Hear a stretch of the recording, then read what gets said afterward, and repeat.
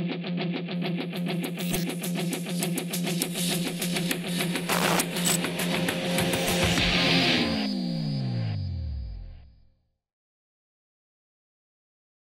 would like your views on running martingales, as I've seen them used by both English and Western riders on the trail.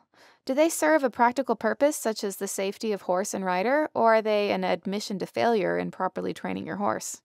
Well, Tricia, thank you so much for your question. So, do I use running martingales from time to time? The answer is yes. If I'm on one of my cow horses and I'm going to go down the fence, or I've got a horse that's been a little pushy in the face or wants to get its head up a little high, I'll use a running martingale.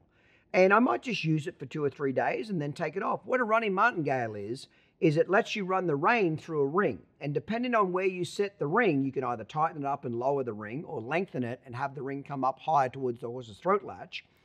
Basically, what happens is wherever the ring is set, if the horse's mouth goes up above that, the rein will pull from the bit down to the ring back to your hands.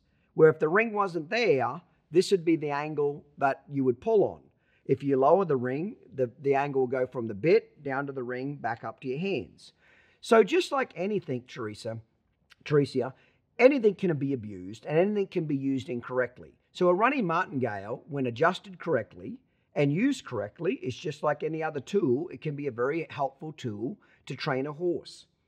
Just like any other tool, if it's used incorrectly or overused or abused, it can do damage to a horse and not uh, train the horse very well. So, you know, it, you know, it's the same old thing. Do, do guns kill people or do people kill people? I'm pretty sure a gun has never picked itself up and shot somebody. Somebody pulls that trigger. So I don't think gun's the problem. I think the idiot behind the gun's the problem.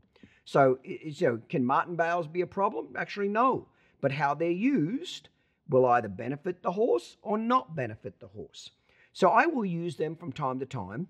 I'm not just like I'll use draw reins from time to time. If I'm working on lead changes and I want to get the horse a little more round during a lead change, I'll put on draw reins for two or three days and ride with draw reins. But anytime I'll use draw reins or a running martingale, I usually don't do it for more than three days in a row.